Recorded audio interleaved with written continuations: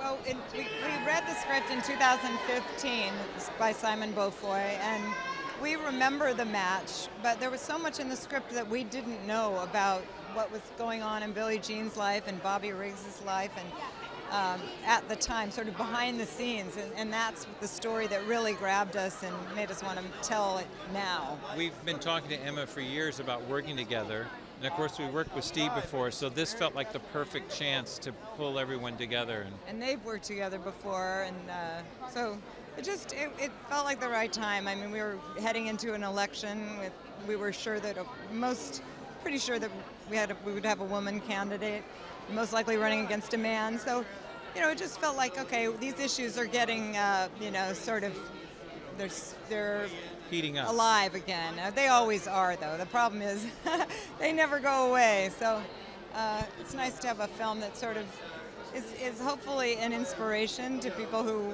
uh, you know, just can find find a voice and then go out and use it. And, hopefully for good. Well, comedic actors are always we have found they're great. They can do drama like it just comes so naturally. Their timing's great, and and they're all you know they understand pain. Most comedians are very uh, you know, they've, they've lived it. So they're just, and we love them, and they're so fun to work with. And it's not like we're always cracking up on the set, or you know, but it.